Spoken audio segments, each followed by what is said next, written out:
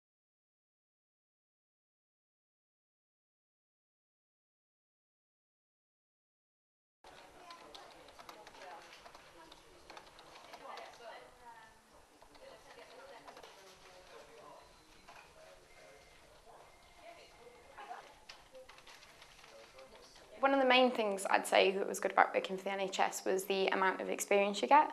Um, the breadth of things that I got for my portfolio was really good. I did uh, media relations work, both proactive and reactive statements. Um, I did a lot of internal communications work, um, starting off editing the newsletter um, and then sort of taking more of a, a role in that. Um, I did a lot of articles for uh, annual report and health matters uh, publications like that. You know, when you start any new job, it's quite challenging. Um, it's a new role and you're not always sure you know, what you need to be doing. Um, but everyone's really, really supportive. Um, you've always got someone to ask you know, when you, you're struggling a little bit with something. Um, one of the particular highlights for me of um, this role was the amount of media relations work you do. Um, you know, with it being the NHS and it's health related, so many people are interested in it, it affects everyone.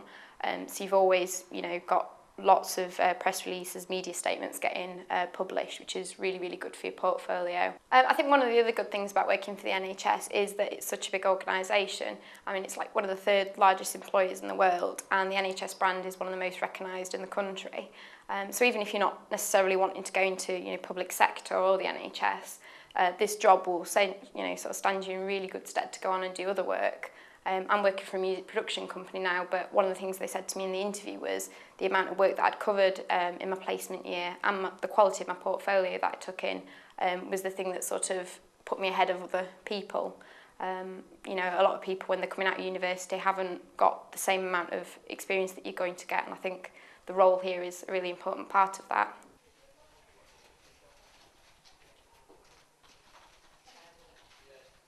I started working for NHS Bradford and Airedale in August 2008 and I worked all the way through to set the following September and I now do one day a week around university.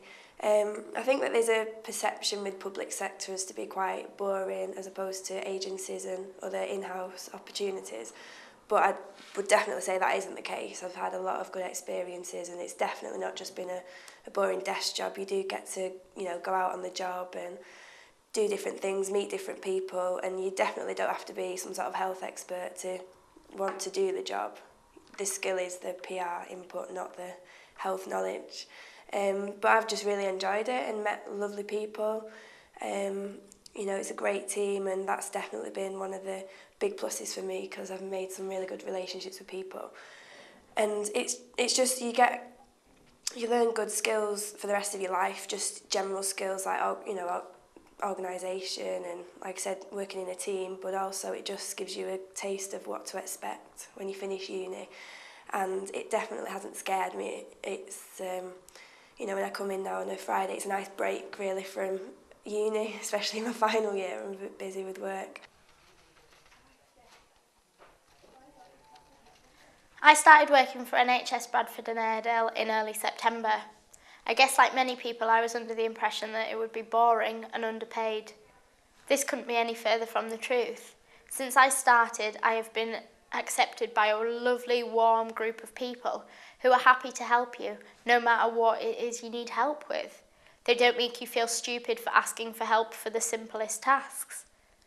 In the five months that I've been here, I have received so many tasks that have been interesting I have so many pieces of portfolio work that are far different from what you ever imagined you'd get from a PR placement.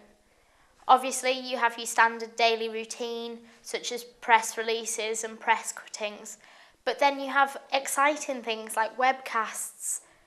For instance, I'm in the middle of recording a sexual health drama, something that's been a project of mine from the beginning. I've helped write the script, we've held auditions, and now we're just about to start filming.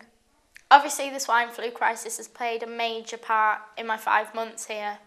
I've been lucky enough to be involved in many projects that have revolved around it, particularly a webcast that we did for those people who are hard of hearing and were unable to get the information they needed.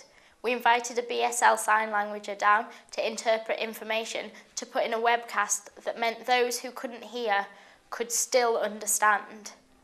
If you're interested in taking a position within NHS Bradford and Airedale, please pop into the placements office for further information.